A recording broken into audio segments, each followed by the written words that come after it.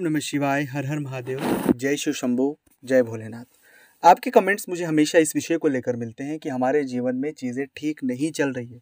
चाहे हम व्यापार की बात करें, चाहे धन की बात करें, चाहे नौकरी की बात करें, हम किसी भी विषय पर हमारे जीवन में चीज़ें स्थिर नहीं हो रही है और बहुत हमें परेशानियाँ झेलना पड़ रही है। पंडित जी, कोई हल और कोई उपाय बताए, कोई रास्ता बताए इन पूरी परिस्थितियों से बाहर निकलने के लिए।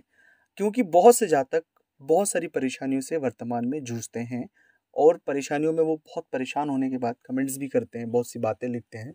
तो अगर आप किसी भी परेशानी से वर्तमान में परेशान हो, कोई भी परेशानी, चाहे आप धन को लेकर हो, चाहे आप अपने फैमिली को लेकर हो, व्यापार को लेकर हो, नौकरी को लेकर हो, या आपके जीवन में जो भी चीज़ें एकदम से सडन ख़राब हो गई है, उनसे आप परेशान हैं, चिंतित हैं तो आप घबराने की आवश्यकता नहीं है। कुछ बातें जो मैं आपके साथ आज साझा करने वाला हूँ, इन्हें बहुत गंभीरता से आप समझ लें और अपने जीवन में अपना लें। आपको बहुत हद तक फ़ायदा भी मिलेगा और आप इन परिस्थितियों से बहुत बाहर आ जाएँगे। जब कभी भी इस इस तरह की परिस्थितियाँ किसी भी जातक के जीवन में आती है और एकदम मोमेंट सर्कल में घूम जाता है तो ये सीधा सा राहु से जुड़ा हुआ इंडिकेशन है, क्योंकि राहु, मन, बुद्धि, इन सभी चीज़ों में जो एक अच्छा चीज़ें चलती रहती है, इन्हें हमें भ्रमित कर देता है। और जो व्यक्ति भ्रमित होता है तो वो सही कदम नहीं उठा पाता, सही निर्णय नहीं ले पाता, अपने काम पर सही से ध्यान नहीं दे पाता उसे चीज़ें, सब चीज़ें नकारात्मक वे में ही वो सुनता है, समझता है और नकारात्मक ही फैसले लेता है। तो ऐसी परिस्थितियों में कोशिश करें कि जो निर्णय आप ले रहे हैं, उसे बहुत सावधानी से लें, बहुत सोच विचार के लें और जो आप मन में सोच रहे हैं निर्णय लेने का, वो निर्णय नहीं लें, उसके अपोजिट निर्णय लें। क्योंकि जो राहु हमसे करवाना चाहता है, वो हमसे गलत करवाना चाहता है और गलत का नतीजा गलत ही होता है। अब आपकी नज़रिए में वो चीज़ सही लग रही कि हाँ ये मेरा डिसीज़न सही है और मुझे ऐसा करना चाहिए, लेकिन वास्तविकता में आने वाले समय में उसके परिणाम हमारे पक्ष में नहीं होंगे। तो ये हमेशा याद रखना इस तरह की स्थिति में, बहुत ज़्यादा सोच समझ कर विचार विमर्श करके, अपने अच्छे वेल विचारों से पूछ कर समझ कर उनके, उनका सानिध्य लेकर ही आपको आगे बढ़ना है, क्योंकि राहु आपको भ्रमित करेगा और भ्रमित व्यक्ति कभी भी सही निर्णय नहीं ले सकता। दूसरी बात है कि जब कभी भी इस तरह की परिस्थितियाँ हो तो आप सौ बार हनुमान चालीसा का पाठ तो अवश्य रूप से कर ही ले।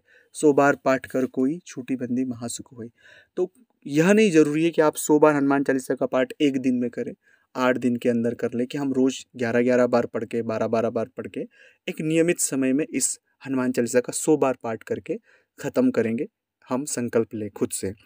उसे करने से आपके जीवन में जितने सारे संकट हैं, जो ग्रहों की परेशानियाँ हैं, स्वाभाविक रूप से इस प्रयोग को करने से आपके जीवन में एक बहुत बड़ा बदलाव दिखेगा। तीसरा है कि मन बहुत नेगेटिव हो जाता है, क्योंकि एक नकारात्मक व्यक्ति कभी भी चीज़ें नकारात्मक ही प्रोड्यूस करेगा पॉजिटिव नहीं करेगा। इसलिए इतना नेगेटिव होने की आवश्यकता नहीं है, इतना ज़्यादा ओवर थिंक करने की आवश्यकता नहीं है और इतना ही ज़्यादा घबराने की भी आवश्यकता नहीं है कि क्या होगा आगे वाले समय में एक अज्ञात डर मन में बनाकर भी कोई फ़ायदे का विषय नहीं है। ऐसी परिस्थितियों में खुद को जितना शांत रखेंगे, उतनी जल्दी आप उन हालातों से बाहर निकलेंगे। अब इन सभी प्रयोगों को आप करेंगे, आपके जीवन में डेफिनेटली आपको फ़ायदा मिलेगा और कहीं भी इस तरह का मन में कोई नेगेटिविटी ना आन दे ऐसा कर दिया, किसी ने वो कर दिया, इस तरह की चीज़ें कोई नहीं कर सकता है। ये बस एक समय का फेयर है, जो अभी ख़राब है आने वाले समय में, वो बेहतर होगा और जीवन में एक सकारात्मक बदलाव होगा। हमें धैर्य नहीं खोना है, शांति रखना है और धीरे धीरे धीरे इस वक्त को काट कर आगे बढ़ना है। जो अच्छा समय आपका आने वाले समय में इंतज़ार कर रहा है दोस्तों। क्योंकि यहाँ की गई गलती, यहाँ की गई चूक के परिणाम और भयावक हो सकते हैं, जिनसे हमारे जीवन में जो चीज़ों को हम सही कर रहे हैं और हम सही की जगह गलत हो जाएँगे।